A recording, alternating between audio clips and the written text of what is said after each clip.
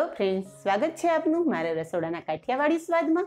હું ભાવનાબેન રાઠોડ. આજે આપણે જોઈશું કે જે વસ્તુને આપણે હંમેશા વેસ્ટ ગણીને ફેંકી દઈએ છીએ, તો એ વસ્તુનો આપણે બેસ્ટ ઉપયોગ કઈ રીતે કરી શકીએ? તો આપણે ભાત તો બધાના ઘરમાં હંમેશા બનતા જ હોય છે. તો ભાત બનાવી અને જે ભાતનું ઓસામણ વધે છે, એ ઓસામણને તમે વેસ્ટ ગણી અને ફેંકી દો છો. તો આજે આપણે ઓસામણના ઘણા બધા ઉપયોગ છે. તો ઓસામણ કઈ રીતે આપણે ઉપયોગમાં લઈએ એ તમને હું બતાવું છું. તો ઓસામણનો પહેલો ઉપયોગ તમને બતાવું છું. કે ઘરમાં દાળ તો હંમેશા બનતી જ હોય છે, તો દાળની ક્વોન્ટિટી ઓછી હોય અને કોઈ મહેમાન આવી ચડે, તો તમે આ ઓસામણમાં ચમચી ચણાનો લોટ નાખી અને મિક્સ કરી અને તમે દાળમાં મિક્સ કરી શકો છો. દાળની ક્વોન્ટિટી તો વધી જ જશે, સાથે દાળનો સ્વાદ પણ ખૂબ જ સરસ વધી જશે અને મહેમાનને ખબર પણ નહીં પડે કે તમે ભાતનું ઓસામણ દાળમાં મિક્સ કરેલું છે. તો છે ને કામની ટિપ્સ આગળ જોઈએ. બીજું આપણે જોઈશું કે ભાતના ઓસામણથી તમે રોટલીનો લોટ બાંધો. સોફ્ટ એકદમ મુલાયમ રોટલી બનશે, તો હું તમને લોટ બાંધી અને રોટલી પણ બતાવું છું. તો ભાતનું ઓસામણ સાઈડમાં રાખી દઉં છું. અહીંયા મેં એક વાસણમાં લોટ લીધેલો છે. આ લોટ બાંધવાની રીત બિલકુલ તમે જે નોર્મલ લોટ બાંધો છો એનાથી અલગ જ છે. આ રોટલી લોટ બનાવો તો લોટમાં મોણ નાખવાની એ બિલકુલ જરૂર નથી પડતી. આ એક અલગ રીતે જ આપણે રોટલી બનાવશું. તો આ પ્રોસેસ પૂરેપૂરી જોજો. અને ફોલો કરજો. અને એક વખત તમે ભાતના ઓસામણથી લોટ બાંધી અને રોટલી બનાવો અને મને કમેન્ટમાં જણાવજો કે તમને આ વેસ્ટ વસ્તુનો બેસ્ટ ઉપયોગ કેવો લાગે છે. આ રીતે જો તમે ઓસામણ નાખી અને રોટલી બનાવશો તો ચોખામાં રહેલા સ્ટાર્ચથી રોટલી એકદમ સરસ મુલાયમ બનશે. તો આજે એકલા ઓસામણથી જ આપણે રોટલીનો લોટ બાંધશું. હવે બાંધેલા લોટમાં આપણે ચમચી તેલ નાખી અને લોટને સરસ મસળી લેશું. નોર્મલ જે પાણીથી લોટ બાંધીએ છીએ, એ લોટનો કલર અલગ હોય છે. અને જે તમે ભાતના ઓસામણથી આપણે લોટ બાંધેલો, એ લોટ એકદમ સરસ વ્હાઈટ બન્યો છે. તમને નજીકથી બતાવી દઉં.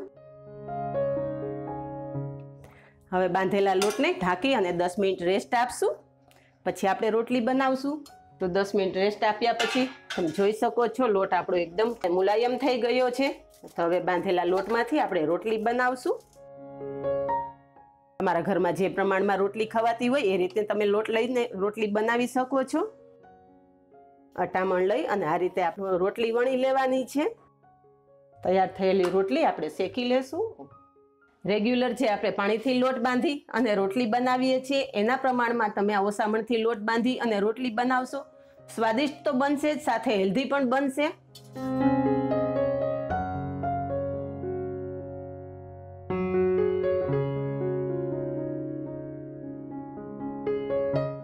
તો તૈયાર છે આપણી ઓસામણની રોટલી. તૈયાર થયેલી રોટલી ઉપર ઘી લગાવી લેશું. હવે આ રોટલી તમે ટિફિનમાં આપો કે નોર્મલ ઘરમાં ખાવા માટે વાપરો. આ રોટલી ખૂબ જ સોફ્ટ, એકદમ મુલાયમ, તમે જોઈ શકો છો કે હાથમાં લેતા આ રીતના મુઠ્ઠીમાં આવી જાય છે. તો આવી જ રોટલી બનાવો. ભાતના ઓસામણનો ત્રીજો ઉપયોગ જોઈ લઈએ. અત્યારે કોટનના કપડાં ખૂબ જ મોંઘા આવે છે. અને અત્યારની જનરેશનને બધાને કોટનના કપડાં પહેરવા વધારે પસંદ છે. પણ કોટનના કપડાં તમે એકથી બે વખત ધોવો ત્યાં ખૂબ જ કૂણા થઈ જતા હોય છે. આ રીતે એકદમ સોફ્ટ થઈ જતા હોય છે. તો આ કપડાને સ્ટાર્ચ કરવા માટે આપણે આ જે ભાતના ઓસામણનો ઉપયોગ કરશું. મેં અહીંયા હેવી ડ્રેસની ઓઢણી લીધેલી છે. ડ્રેસ ખૂબ જ મોંઘા હોય અને આ રીતના દુપટ્ટા આવે છે. એ તમે બે ત્રણ વખત ધોવાતા આ રીતે થઈ જાય છે કૂણા. તો તમને આજે હું ઓઢણીને ઘરે કઈ રીતે તમે સ્ટાર્ચ કરી શકો એ બતાવું છું. તો ભાતનું ઓસામણ છે. તો ભાતના ઓસામણમાં આપણે એક ગ્લાસ જેટલું પાણી નાખશું.